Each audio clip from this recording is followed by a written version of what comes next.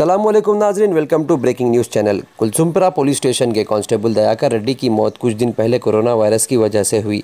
Hyderabad city commissioner of police Anjani Kumar ने आज Kulsumpura police station पहुंचकर वहाँ के तमाम पुलिस ऑफिसर्स को सेफ्टी प्रिकॉशंस के ताल्लुक से खिताब किया और कांस्टेबल दयाकर रेड्डी की मौत पर अफसोस का इजहार किया। अंजनी कुमार ने दयाकर रेड्डी के बच्चों की तालीम के ताल्लुक से एन से बातचीत करके ज़िम्मेदारी लेने की बात की और दयाकर रेड्डी की बीवी को उनके तालीमी एतबार से कहीं ना कहीं नौकरी का बंदोबस्त करने की भी बात की।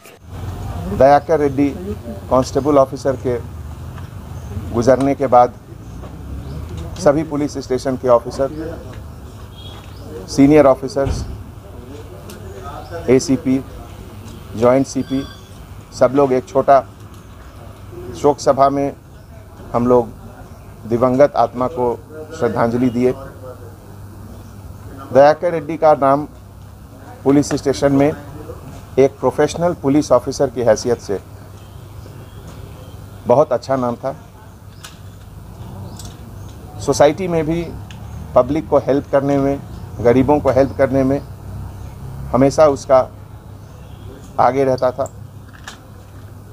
उसके फैमिली के लिए हम लोग भगवान से प्रार्थना करते हैं कि उनको शक्ति दें।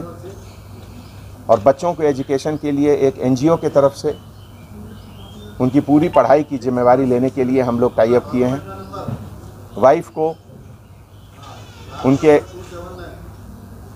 एकेडमिक क्वालिफिकेशन के मुताबिक जॉब भी ज़रूर हम लोग दिलाएँगे। और ऐसे मौके पे हमारे सभी पुलिस ऑफिसर्स को मैं एक बार फिर से रिक्वेस्ट करता हूँ कि अपना प्रिकॉशन सबसे ज़रूरी है। चेहरे पर मास्क सोप वाटर से हैंड वॉश करना, सेफ़ डिस्टेंस मेंटेन करना, ये सब करते हुए अपने आप को फिट रखकर हम लोग सोसाइटी को प्रोटेक्ट कर सकते हैं। Thank you.